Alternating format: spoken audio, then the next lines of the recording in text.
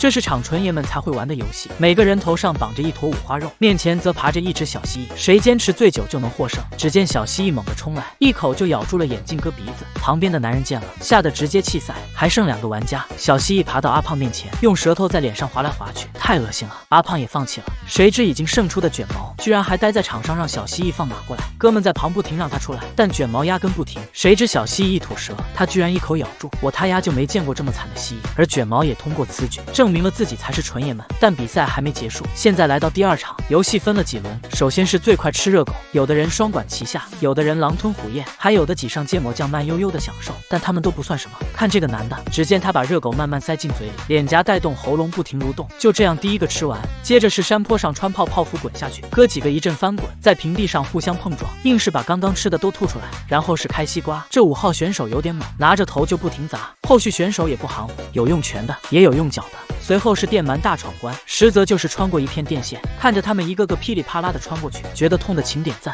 他们继续冲锋，来到了泥浆池，也不管它脏不脏，跑得最快就是爹。再戴上头盔，骑上小电驴，来了一段平原版暴力摩托，没掏武器打都算好的了。再接着就是喝完一水桶的啤酒，他们叼着水管拼命吸，吐一身都不带怕的。最后一个项目，从水滑梯一跃滑下，四号选手夺得第一，坐着滑板就冲进了池塘里。就是这发型有点帅，看着他们一个个冲下来，男人的快乐可真简单。但比赛还没没完，只有赢下所有游戏，才能夺下最猛纯爷们称号。这是史上最狠的憋屎比赛，每人必须喝完整瓶泻药，再从酒吧找个妹子蹦迪。只要谁坚持最久不喷出来，就能赢下比赛。胡子哥率先出击，一番甜言蜜语就拉了妹子去跳舞。只见他双脚腾空一蹬，完了，肚子咕噜噜的就输下比赛。再看看眼镜哥，他一脸淡定，找了个姑娘就在推正鼓。谁知翔一上来，他噼里啪啦的就夹着屁股往厕所跑。这位选手也挺机智，打算靠坐着来物理封门，但这翔是法术穿透，崩了个稀的，他也成功淘汰。最离谱的还要看卷毛，他一脸衰样，妹子怎么都不肯陪他蹦迪。然而争吵声过大，还把这侏儒老板引了过来，对方让卷毛滚蛋，他却转头骂起小迪克。这下可好，老板直接跳到卷毛背上，硬是来了手锁喉，把他连劈带降的掐晕了过去。胜负已定，最强憋翔王由阿胖胜出。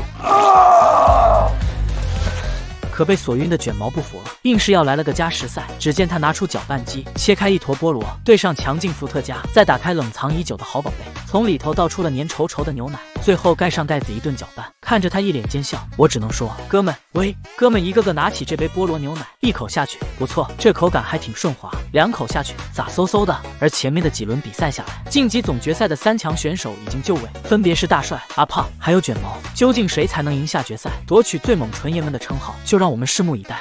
我从没见过这么奇葩的游戏比赛，和小蜥蜴近距离舌吻，在酒吧喝泻药当最强憋屎王。每一轮的游戏下来，这几个哥们都搭着命上去的。而现在来到最终的总决赛，真人版饥饿游戏，只要率先夺得终点的铁桶就能获胜。参赛者每人全副武装，手持弓箭，可以说是真的搭命。比赛开始，三位选手赶紧冲锋，纷纷跑到田地拿上弓箭，接着俯身趴到草丛准备偷袭。结果旁边的观众一点都不省事，居然和自己的选手男友打起了招呼。谁知这哥一举手，啊！